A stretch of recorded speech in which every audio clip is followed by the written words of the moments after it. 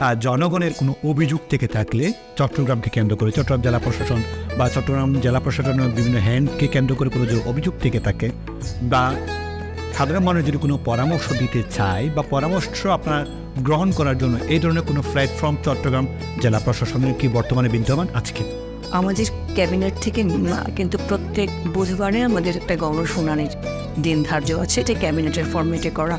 আমি এখানে জেলা প্রশাসক হয়ে আসার পরে আমি সিদ্ধান্ত নিয়েছি যে এই ক্যাবিনেটের নির্দেশনার বাইরেও প্রত্যেক মাসের একটা শনিবারে আমি গণশুনানি নিব এবং এটা আমরা তাই? আমাদের জেলা প্রশাসক জেলা কার্যালয়। প্রশাসকের কার্যালয় আমরা আমাদের এটা ওই পোর্টালে দেব। আমাদের জেলা প্রশাসনের একটা ই আছে আপনার পেজ আছে আমরা পেজে দিয়ে দিব। আর এখানে সাধারণ মানুষ কারা কাদের অ্যাক্সেস থাকবে ওখানে শুনানিতে? সব শ্রেণি পেশার মানুষ। তারা জি এটা আমি স্পেশালি নিব। যে প্রতি শনিবার? না প্রত্যেক মাসের একটা শনিবার। আর প্রত্যেক বুধবারে তো আমি শুনানি নেই। যেমন আজকে বুধবার ছিল আজকে আমরা ছাপ্পান্নটা শুনানি নিয়েছি। এবং এর ভেতরে দুইটা তিনটা অন্ধ ছেলে ছিল। তাদেরকে একজনকে আমি পঞ্চাশ হাজার টাকা দিয়ে একটা মুদি দোকান করে দেওয়ার জন্য মানে আমরা সিদ্ধান্ত নিয়েছি। একজনের ঘর আছে সংস্কার করে দেওয়ার সিদ্ধান্ত নিয়েছি। আর একজনকে একটা রিক্সা কিনে দেওয়ার সিদ্ধান্ত নিয়েছি। তো আমি মনে করি যে গণশুনানির বিষয়টা যদি বাড়ানো যায় তাহলে সাধারণ মানুষের সমস্যার কথাটা শোনা যাবে। একটা কমিউনিটি হ্যাঁ সমস্যা শুনলে সমাধানের পথটা আমরা দেখতে পারব। জনগণের সেবা গ্রহীতা যারা আছে তাদের সেবা গ্রহীতার ক্ষেত্রে আরও সহজীকরণের জন্য আপনারা প্রতিনিয়ত এখন কি কাজ শুরু করে যাচ্ছেন? আর কোনো ডিজিটাল সেবা আপনারা দিতে চাচ্ছেন কিনা? নতুন কোনো পরিকল্পনা আছে কিনা? আগে ম্যানুয়াল সেবা থেকে এখন অনেকটা ডিজিটাল সেবায় পরিণত হয়েছে আমাদের জেলা প্রশাসনগুলি ম্যাক্সিমাম কি ম্যাক্সিমাম জায়গায় জেলা প্রশাসন। যেমন আমাদের আগ্নেয়াস্ত্রের যে লাইসেন্স এটা কিন্তু আমরা এখন অনলাইন প্ল্যাটফর্মে দিচ্ছি। তারপর আমাদের যে মিউটেশন করা হয়।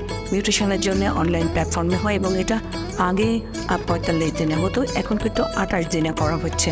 আঠাশ দিনের ই আছে নির্ধারণ করা আছে।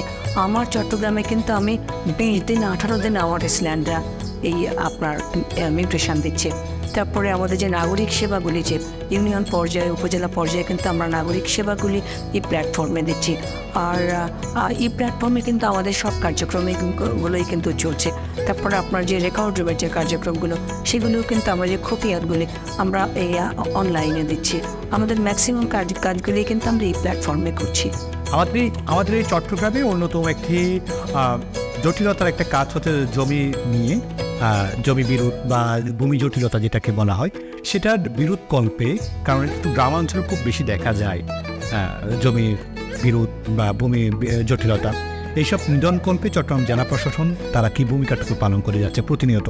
আমাদের দুই বছরের ঊর্ধ্বে যে মামলাগুলি পেন্ডিং থাকে, সেগুলি কিন্তু আমরা অতিরিক্ত জেলা প্রশাসকদের নির্দেশ সেই বিষয়ে আপনার এই নিষ্পত্তি করবার জন্য অতিরিক্ত জেলা প্রশাসকদের নির্দেশনা দেওয়া হয়েছে এবং এই সিলিন্ডার সবসময় গণশুনানি করে। এখন কিন্তু অনলাইন প্ল্যাটফর্ম হতে দালালের দৌরাত্ম এখন অনেকখানি কমে গেছে। এখন যে ভূমি উন্নয়ন কর আপনার